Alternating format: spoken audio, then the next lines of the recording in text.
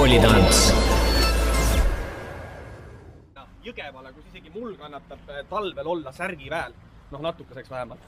tänavu on äh, oodata siin tegelikult äh, väga suuri tantsutormi hoiatusi, sellepärast et tantsijaid on meil, tantse on kogunenud meil üle kolmekümne, mis on pea kümne võrra rohkem kui eelnevatel aastatel.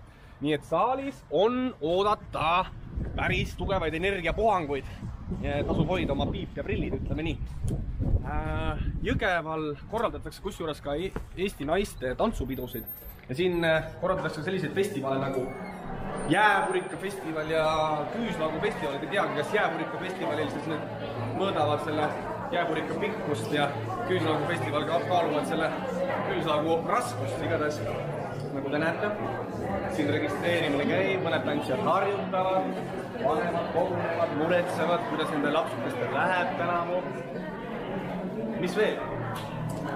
Jõgeval äh, tegutses ka meie vägilane Kalevipoeg, kelle tegelikult ka mõõg on ju siin lähedal Kääpa jões äh, sängis äh, lebama jäänud. ja siit on pärit poetess Peiti Alver, samuti revolutsiooni üks tuntumaid heliloojaid Alo Mattiisen ja kirjanik Enn Kippel näiteks ja ka meie meeskonna liikme isa, kes on sellesama kultuurimaja pool, ütleme nii, juhataja vaatame, mis seal sees toimub, seal on minu teada peaks olema proovid praegu. vaatame.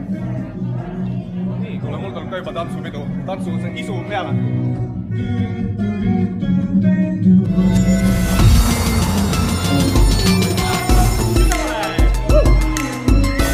Koolitants